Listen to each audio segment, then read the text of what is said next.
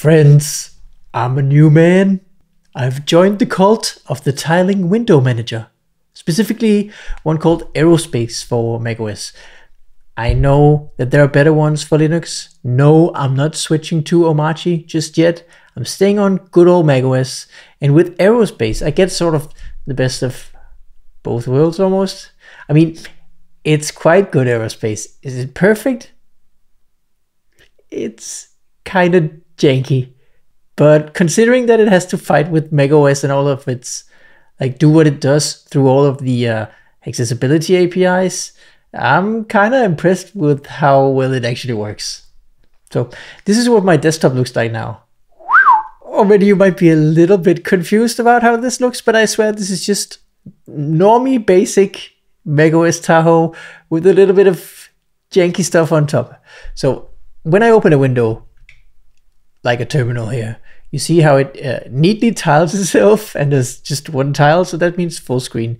But if I open another one, it goes next to it, evenly split in half. A third one opens next to it, but I can put tiles inside tiles and I can even stack them like this. That's basically what a tiling window manager is. Uh, you'll also see that in the top left corner I have uh, workspaces, which is sort of the same uh, concept as you've probably seen before.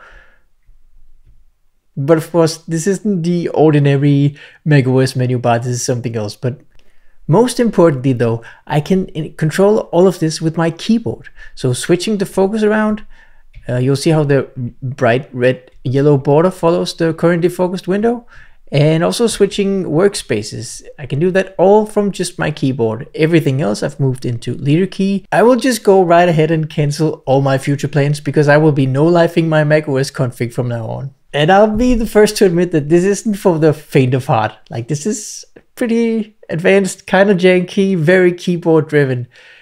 And the macOS keyboard hotkeys space is sort of already kind of crowded. That's why I just have the few global shortcuts and then everything else moved into leader key. If you if you haven't been here before, you don't even probably know leader key, but you're in luck because it's the perfect app. Who made it? Well, none other than let me give you just a brief tour of how it's all set up. This is my aerospace config and it's mostly the basics. I won't go too much into detail. I like a bit of padding around the windows so that I can see the red border. And I actually thought that I wouldn't, but I kind of do. It's nice. And then these are the only uh, bindings, uh, global bindings at least.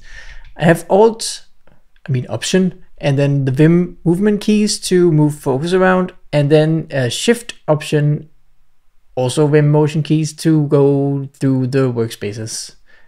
That's more or less it. I have a single mode called resizing mode in which I can, uh, let me show it. So if I go into sizing mode, I can uh, decrease and increase window sizes and then exit.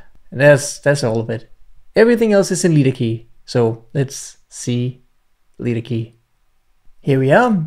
Everything in the W group is uh, dedicated to being aerospace commands.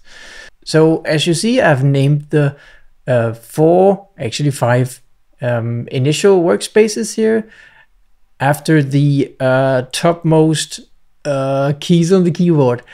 My keyboard is weird and doesn't have like numbers readily available. So, uh, but the ASCII letters are. So I've just named them after like those and it works.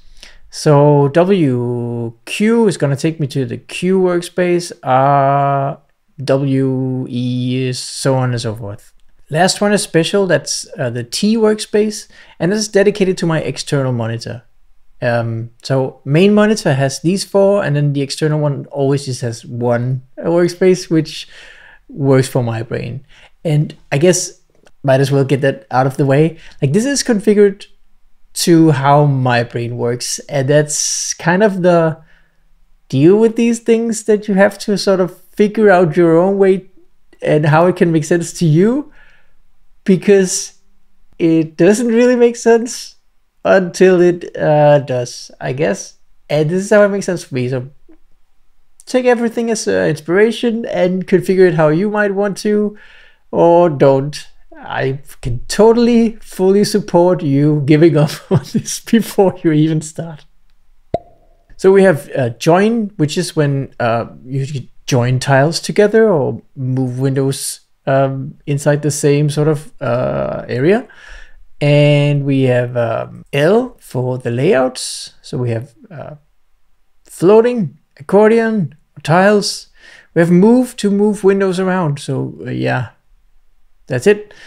Workspaces, move to workspace or move in any direction.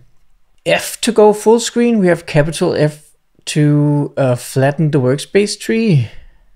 And we have uh, capital R to reload the config. And we have S to go into sizing mode, which is what I showed you before. Uh, yes. But the brilliance here is how we only have to remember option to shift focus and shift option to sh uh, switch workspace. Everything else can go into leader key. And what's great about leader key is how all of the keyboard shortcuts are nested. So uh, of course I have W for everything window related, but I also have groups for all sorts of other things. But inside W, we also have this uh, cheat sheet in leader key, which helps you like at this point, my fingers remember this weird setup because like I said, is what's what was in my brain. I just put it into TOML. But before you get so far, you'll have a, like a nice legend where you can look up uh, what even was the key that I bound for whatever, whatever it was. The red borders come from a thing called janky borders.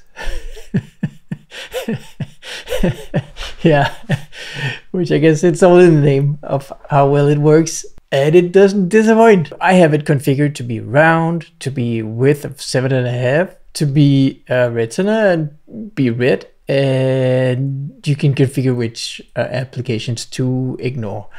The top bar is something called sketchy bar which you can also configure in any way you want. So I have my workspace uh, sort of um, overview up, up here with uh, icons for the um, like common common apps, current window title. This is uh, things the to-do manager uh, integration. So it shows the topmost thing in my today's list. And if I click it, it opens things. This is the calendar. It uh, shows the next event, the next upcoming event for today. And uh, as you see, it's a good day. Then we have a battery status and the clock. And that's it. I mean, it surprises me actually how little I was using the uh, ordinary menu bar like, and if I have to get to it, it's just automatically hidden like the dock is. So it's just a matter of like holding your mouse in the top right corner and you get all of this mess. Much nicer with this just plain over overview. Configuring a sketchy bar, so that's janky borders and sketchy bar. uh, configuring it is a matter of uh, setting up some files in your dot files uh, and it's sort of like source related it's just running commands uh, to sketchybar and i wish i could tell you that i've spent a bunch of time setting this up but nowadays you just ask claude or codex or amp to do it so yeah, I barely know how it works, but I have it configured exactly how I wanted it, and everything sort of works. So would I uh, recommend you do this? I don't know. I guess if you like fiddling and if you're curious, uh, I thought that I would hate tiling window managers, and I thought for years actually, and I kind of prefer it now. So there's that. One thing I really enjoyed about this process was just seeing how well leader key fits into a setup like this. Like once you accept how much faster being keyboard driven is, like how much more effective it is, and you realize how quickly the key namespace uh, is like is used up. There's just no way around like namespacing things, and leader key makes it so easy to just like shove everything window related into the W group. and you still have the whole alphabet open for everything else. Like everything your heart desires can have a hotkey. What I would recommend though is that you spend a little time on your own setup. Anyway, this was a brief introduction to how I use aerospace and LeaderKey together. See you in the next one.